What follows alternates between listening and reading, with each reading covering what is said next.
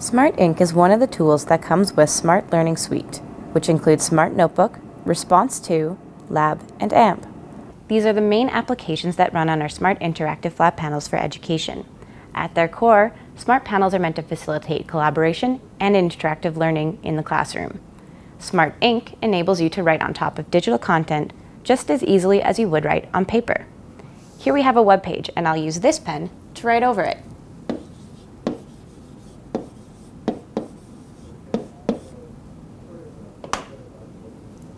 As you can see, Smart Ink doesn't permanently affect your digital content. You can move the ink anywhere on the page. Additionally, your ink is going to stay in place with the content, meaning you can scroll, move the window, or minimize and restore your window, and your ink stays in place. So how do you start using it? To start drawing, all you need to do is pick up a pen. Did you notice this icon that appeared after I picked up the pen? This is the Smart Ink Dynamic Toolbar, which provides you with a variety of tools you can use in class. When you first pick up a pen and open the Dynamic Toolbar, it appears minimized, just showing the Smart Ink icon. Also, each pen has its own toolbar, with the color of the toolbar matching the color of the pen.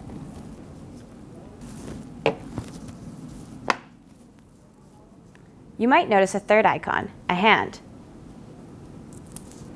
This is part of Smart Ink and we call it the Smart Touch Inking Tool. It gives you all of the same capabilities of your pens except you can use your finger or an accessibility aid. You also have the option to change the function from a touch to a pen. As you can see, the pen's dynamic toolbar appears in the same spot each time you pick up a pen. If you don't like the location of the toolbar, you can easily move it. I'm going to move this one off to the side so that it's not in my way as I work. Now so far, you've only seen the toolbar in its minimized state. There's actually a lot more to this toolbar if you expand it. To view the toolbar in full mode, simply press it. Now you can access all of Smart Ink's tools. Let's take a quick look at each one and see what they can do. This is the full dynamic toolbar. Here you see the pen tool. From here I can change the pen settings such as color and line thickness.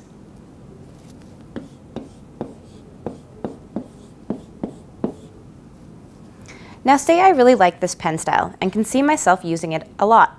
I can add it to my favorites for quick access. I just open the toolbar back up and tap the star to begin adding a new favorite tool.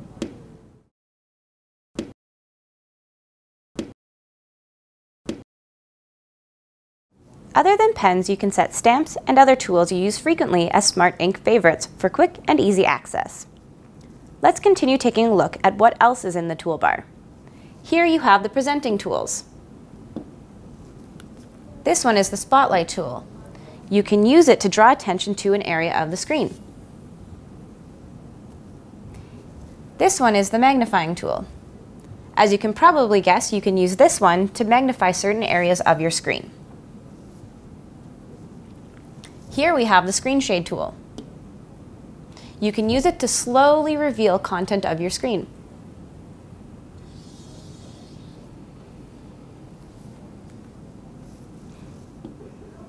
Here we have a screen capture tool.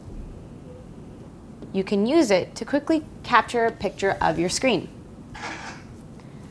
Then you can save it to your desktop or in a notebook file. It's a tool you can quickly use to save any inking that you have done. You can write in digital ink using the panel's pen and then use this ink to text tool to convert the digital writing to text. For example, let's navigate to smarttech.com.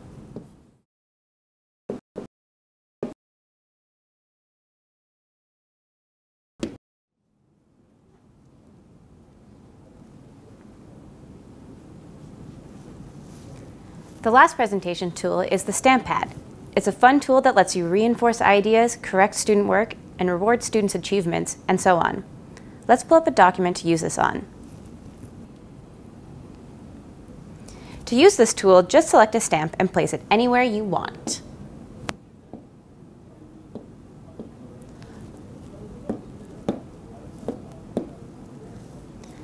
You can even create your own stamps by uploading an image of the stamp.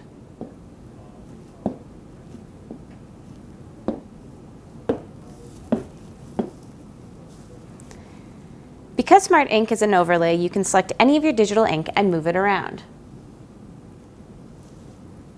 Now I've kind of made a mess of my screen, haven't I? I can erase specific areas of my screen by using my fist,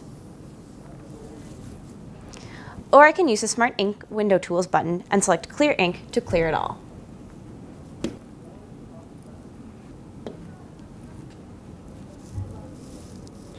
Thank you for watching this quick overview of getting started with Smart Ink.